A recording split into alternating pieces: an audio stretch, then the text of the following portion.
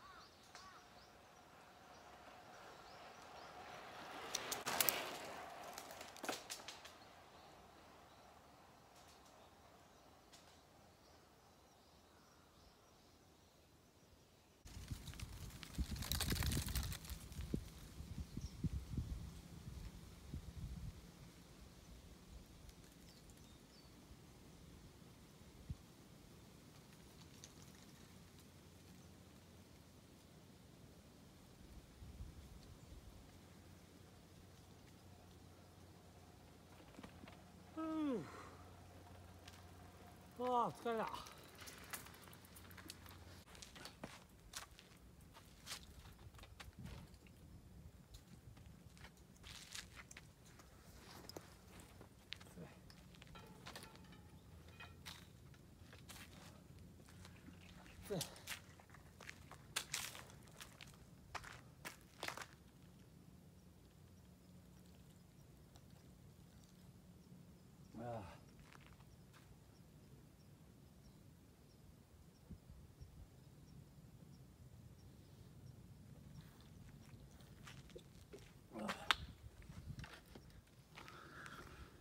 えーと、足摺岬まで8キロ地点まで来ました、えー、全長が駐車場からだいたい13キロぐらいなんで、まあ、56キロの地点です。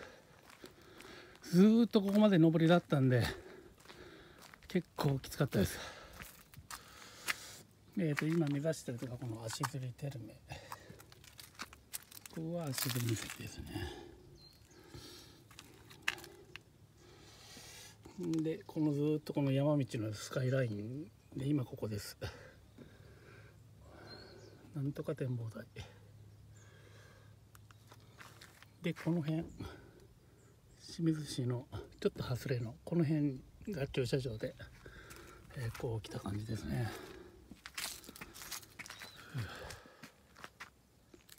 えーと、この駐車場の場所は僕が18から20歳ぐらいの2年間よく、えーと車でドリフトして遊んでたんですけどよくここに来ました。今はもうドリフトできないようにちょっと道路がなってますけどよく夜中に土曜日の夜中にここにみんなで来てたくさんのギャラリーがここにいてずっとこの上りまでずっといい感じのヘアピンがずっとあって遊んでました。僕が乗ってた車31のスカイラインであの GTSX っていうやつですけどもまああんまりドリフトには向いてないちょっと重たい車だったんで僕は大してうまくなかったんですけどよくうまい先輩の車に乗せてもらって、えー、よくここで遊びました。で夜中までずっと走ってえーと、駐車場でそのまんま寝てでまた朝方走って帰るような生活を2年間してました。ちょっと海が見える。とこですね。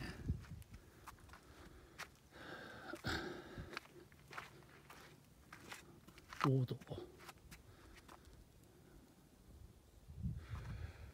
ちょっとここで休憩してからまた出発します。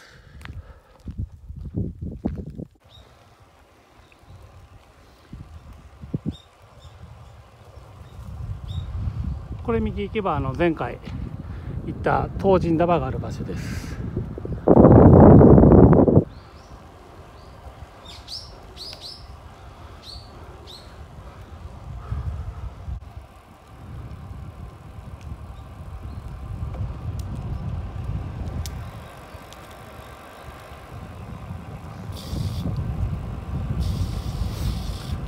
足摺テルメ到着です。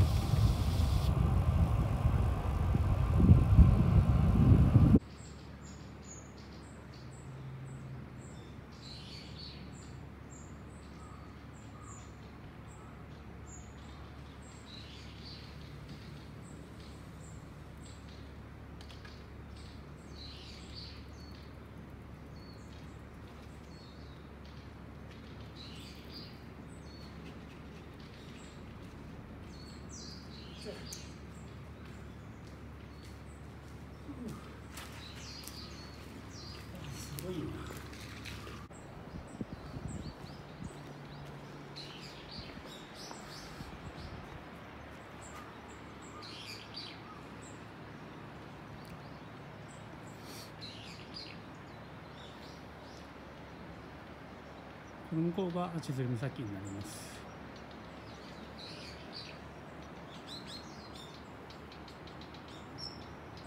気持ちいい。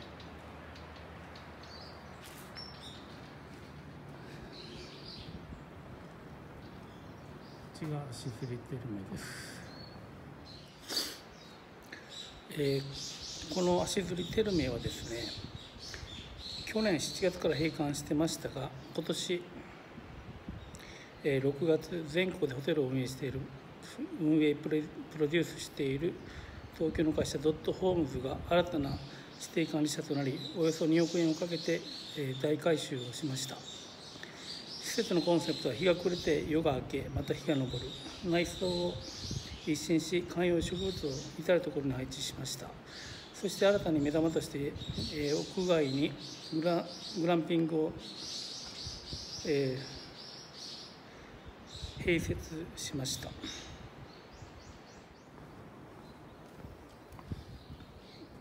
れですねランピング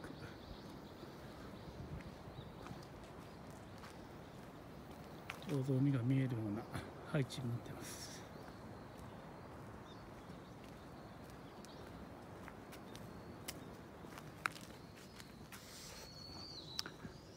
以前は日帰り温泉もしてましたけどなんかもう宿泊のみみたいですね今は。ちょっと聞いてみましょうか。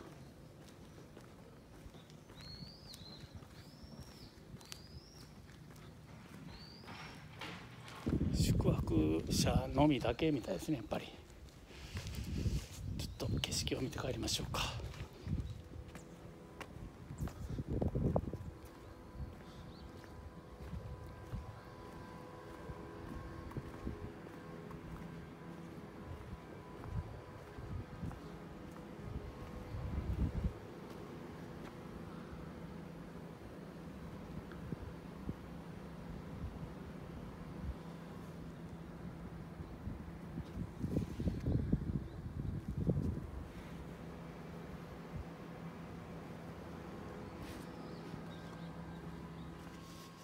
えー、それではちょっと足摺岬まで行ってみましょうか。今お昼ぐらいです。なんか食べたいな。えー、万次郎足湯に行きました、えー、入館は無料ですんで行ってみましょう。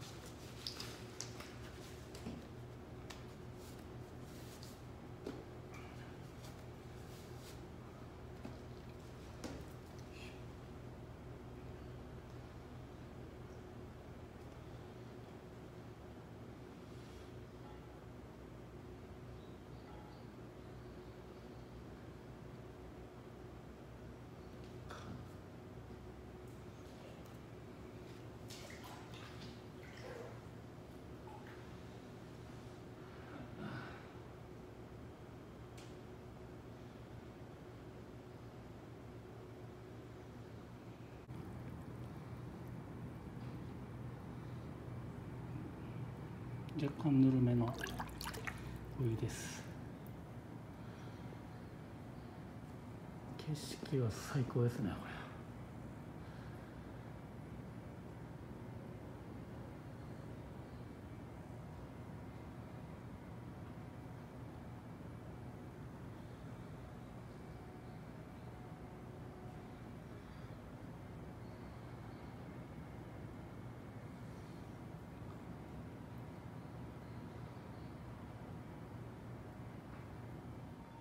う気持ちよかった。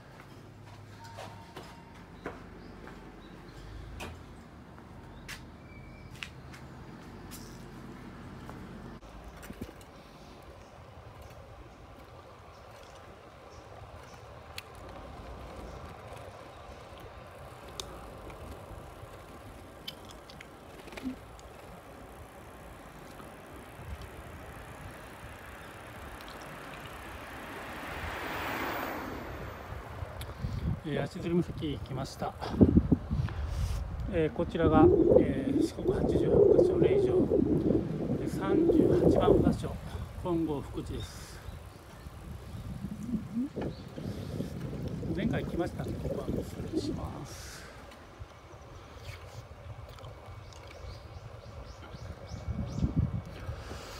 でここは足摺岬です。ここも前回自転車で来ましたんで。今回スルーします。これ縄文城です。じゃあ久保津方面で、えー、海沿いを通りながら帰りたいと思います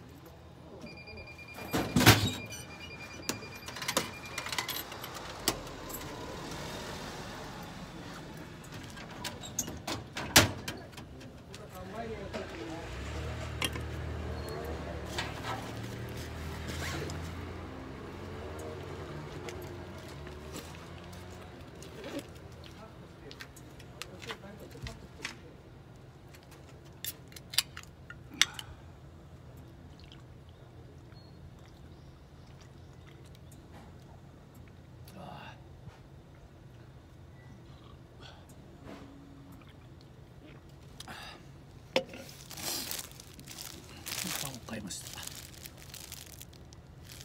メロンパンと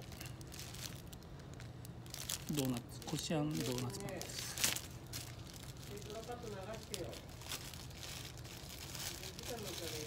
いただきます。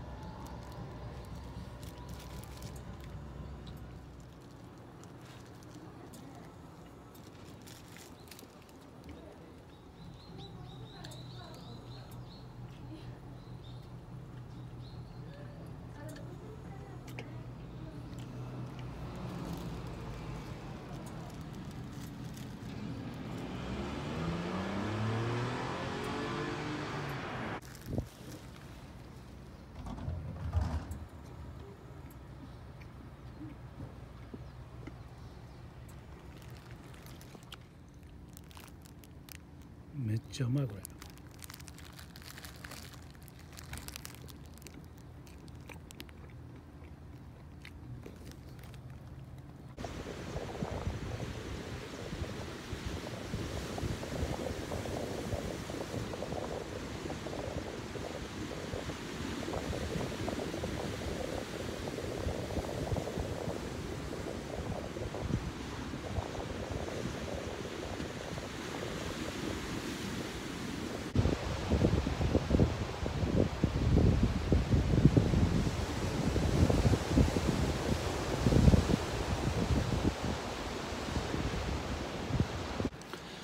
えーそれではこのままでもう少しなんで、えーもうちょっと頑張って帰りたいと思います。